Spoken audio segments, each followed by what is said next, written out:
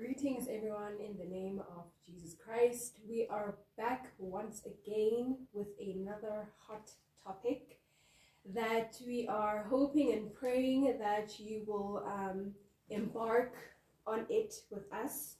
And we are just kindly and humbly asking that may you um, like our video, may our videos, and may you subscribe to the channel so that you can get notifications when we have a new pop-up video.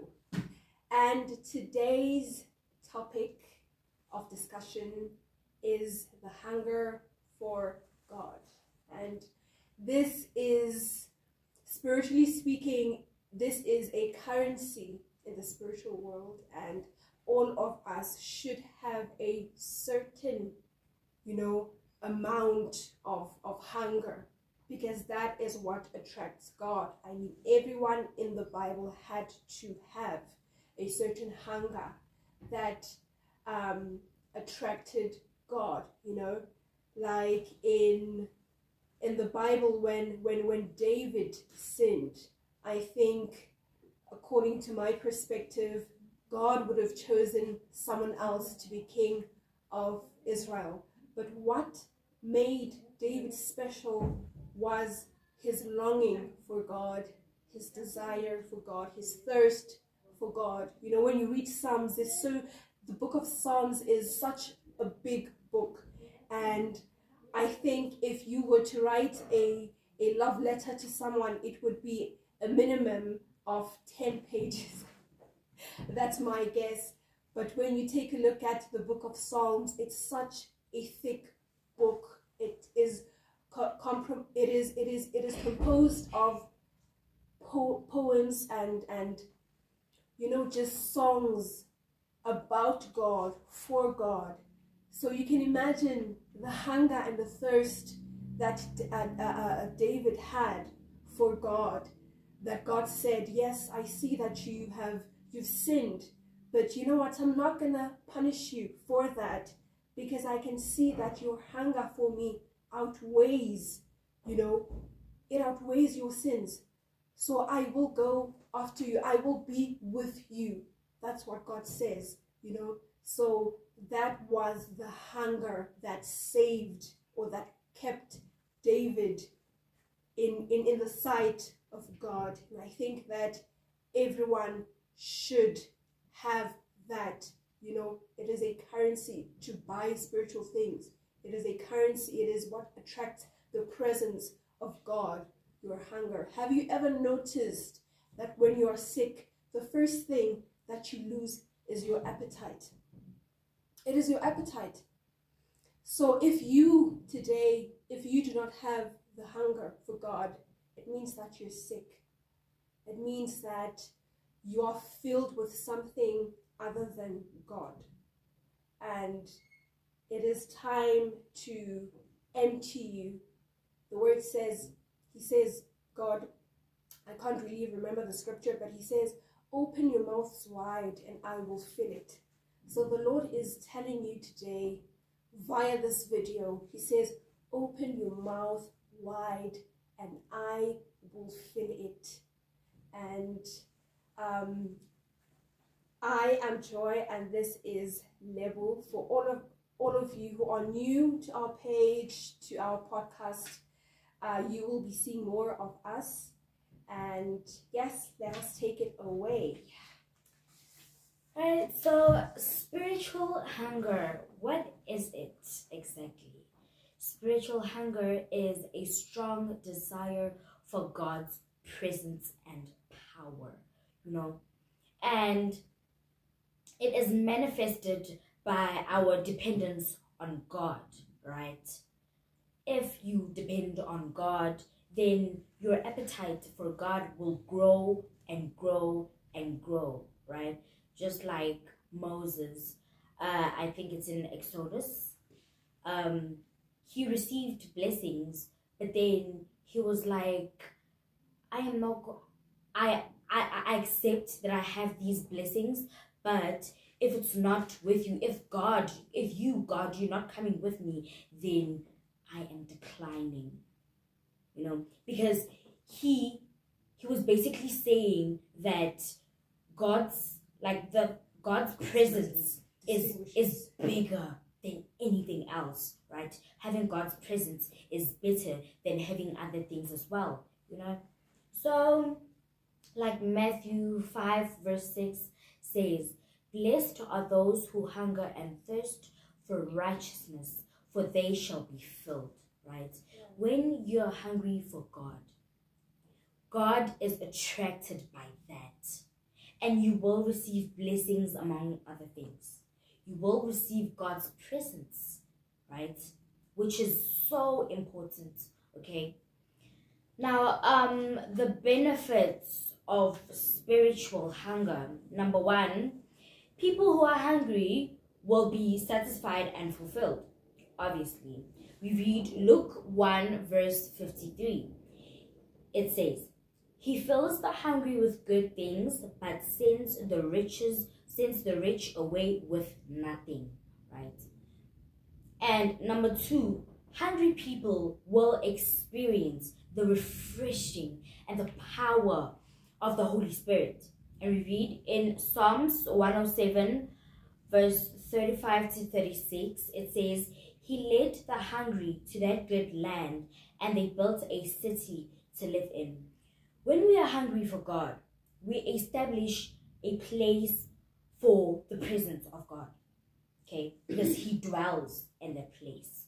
Because why? You're hungry for Him, right? And therefore, you're going to pray, you're going to do all these things because your soul, your spirit is hungry for the presence of God. Number three, hungry people will influence others for Jesus. When you're hungry for God, you're not going to keep that hunger to yourself. You're not going to keep quiet.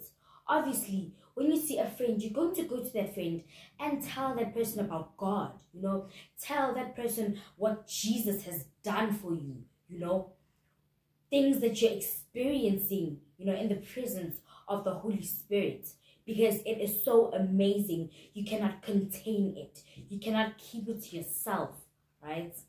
And it says, uh, Psalms 107 verse 38, he blesses them, the hungry, and they multiply greatly, right?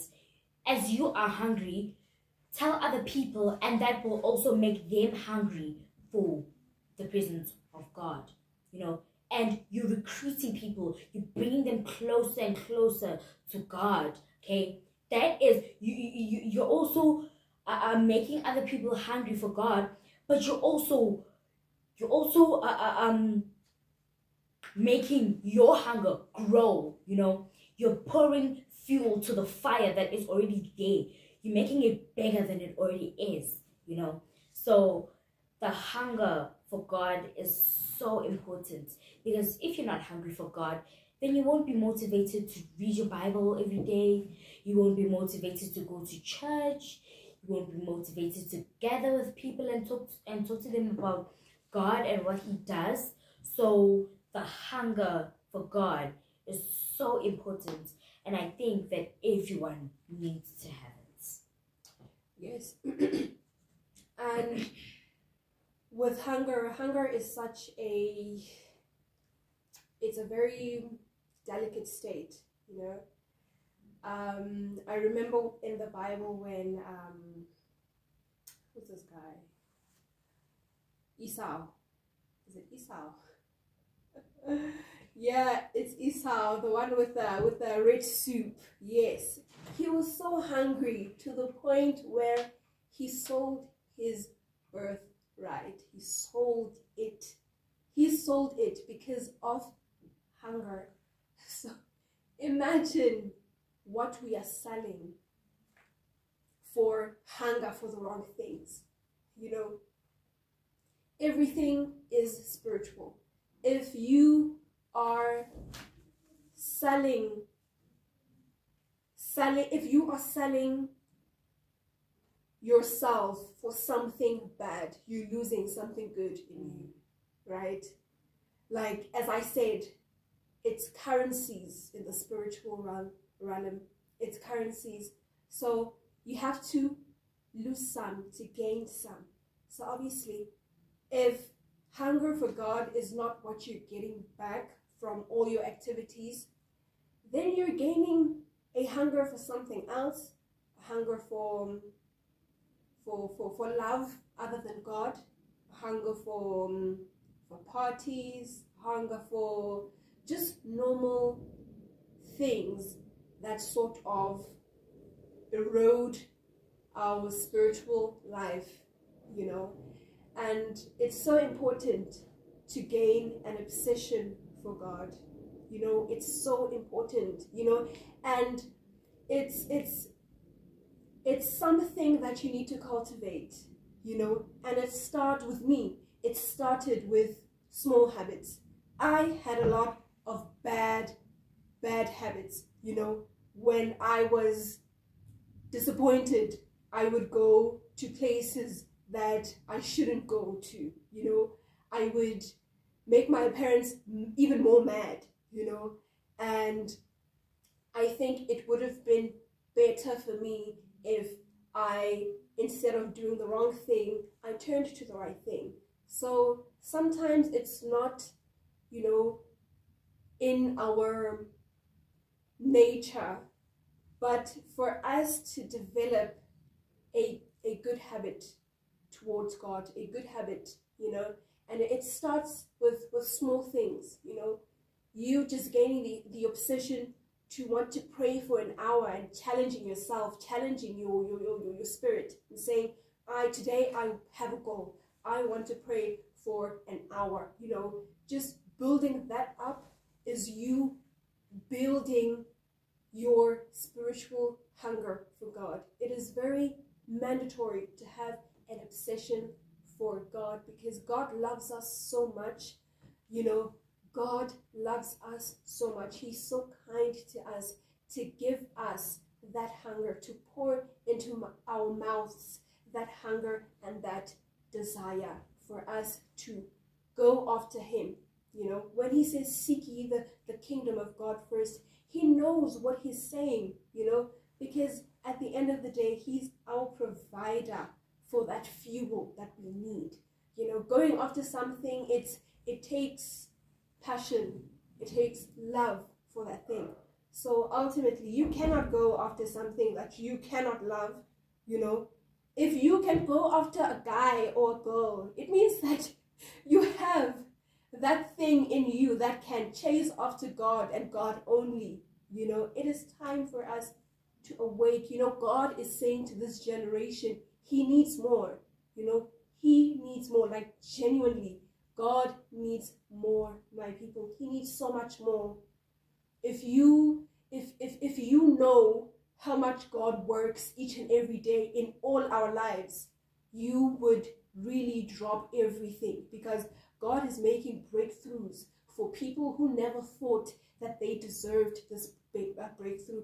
The Lord is, is saving us from, from decisions, from betrayal. He's saving us from disappointments, from even our own family members, from strangers. He's saving us. He's making a way each and every day. So what what is to lose if if all that you are you are gaining, you know, when you're chasing him is him. He is the prize. And I love it when when when David says in Psalms 42 verse 1 to 2, he says, As the deer pants for streams of water, so my, so my soul pants for you, my God. My soul thirsts for you, for the living God. When can I go and meet with God? That is the obsession, God. Are you, every day when you wake up, are you eager to wake up and go to the secret place? Or are you just dreadful? You know, are you just saying, I'm, I'm just to go there for five minutes? You know, it's, it's a sign that spiritually you're sick.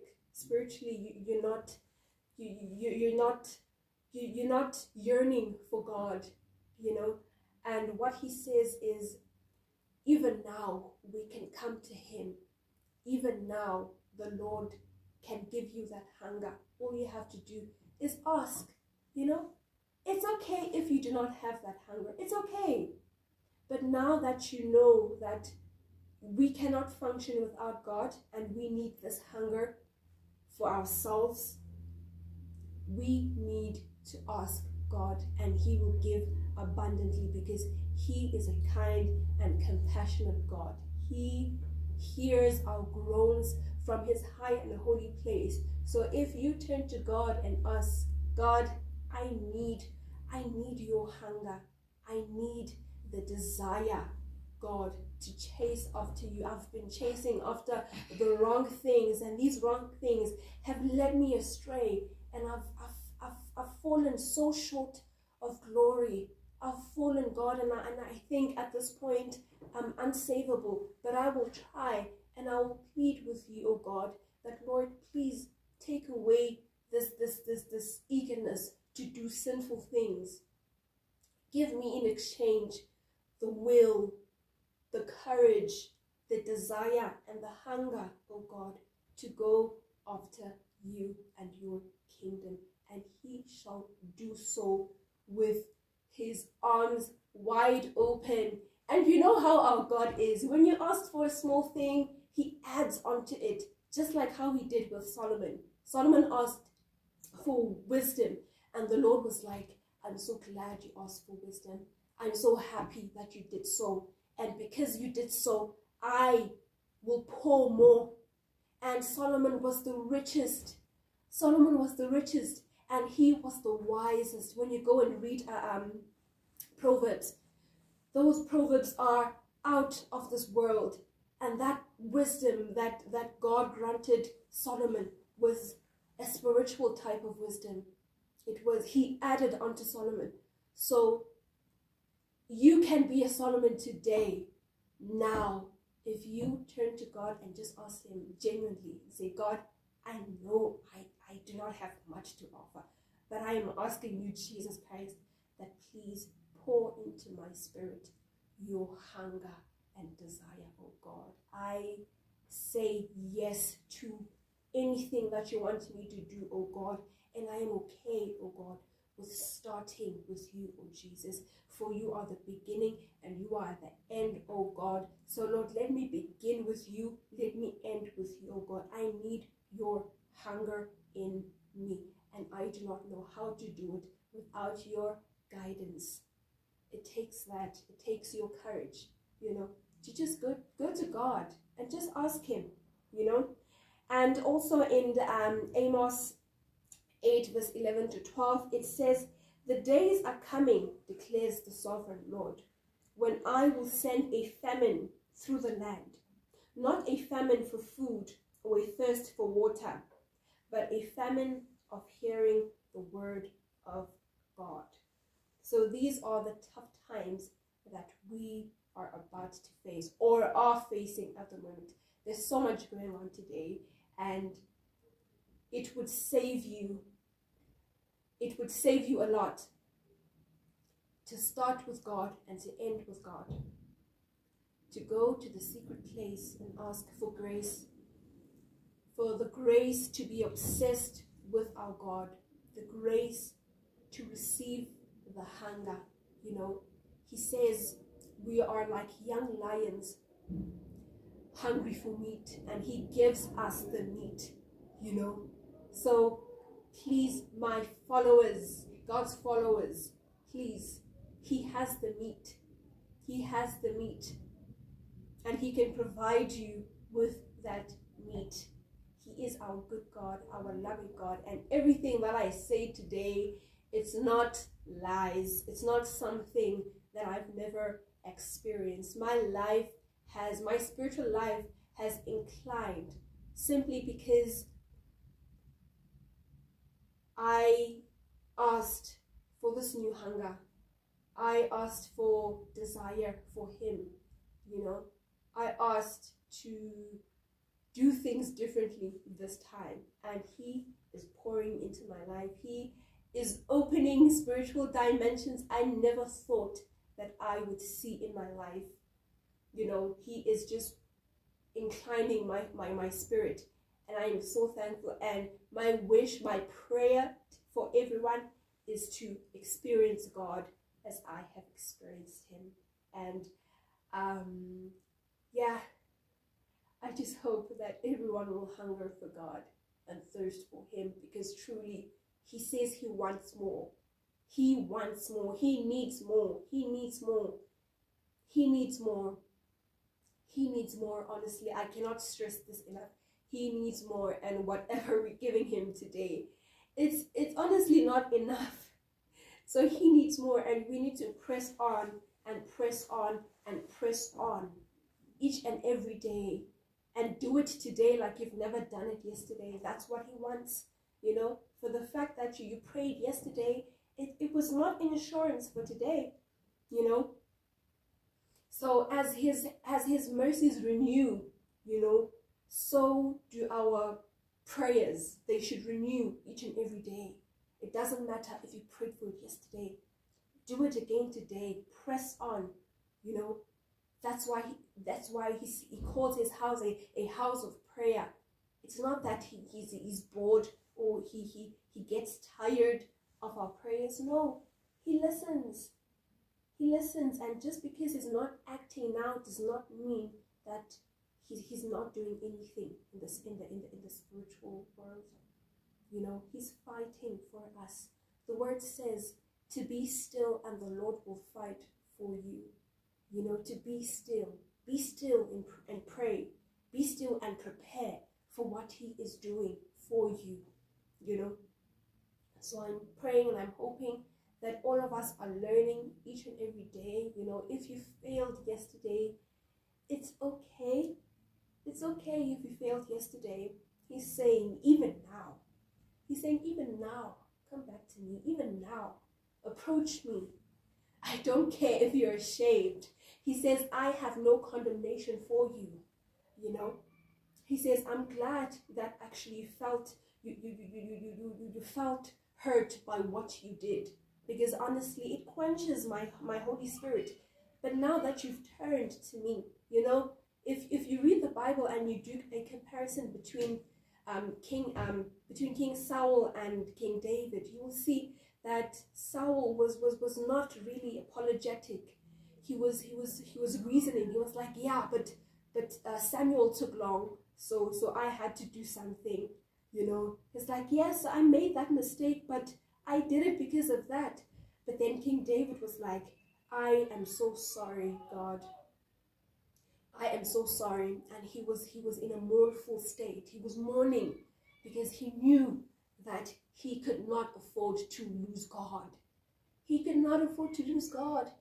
And so he took off his crown and he knelt down and he prayed. He was weeping. And then God said, I will not punish you. You know, even though this has consequences, but I will not take you away from me.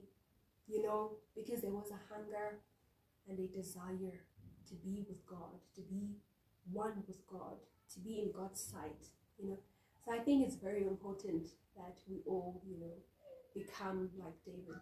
You know, David was, yeah, David was was was was truly a king, and it was through God that he became such a man. You know, when I read Psalms, it's it's truly we can all relate when we all read Psalms. You know, when when we read Psalm sixty three, he says, "I long for you, God."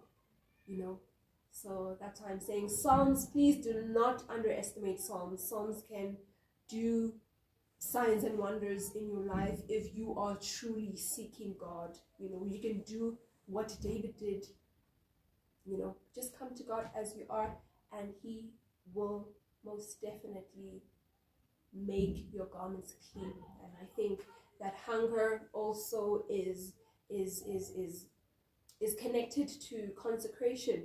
You know, if you definitely want something, you will by all means want to get yourself cleaned up. You know, uh, uh, um, nice for that thing.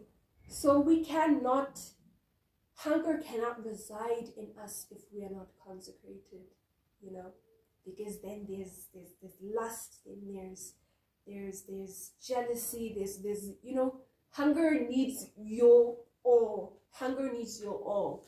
So that is the topic for today, and um, we are thankful and we are praying that you will pray to God, you will turn to Him, and we are asking God on your side that Jesus, may you please give your people hunger for you. May you please give people a hunger for you, my God. We know that, that nothing is impossible for you, Jesus. May you pour your spirit upon your people, Jesus. Let them prophesy. Let them see visions and dreams, Holy Spirit, as long as it is your will, O God.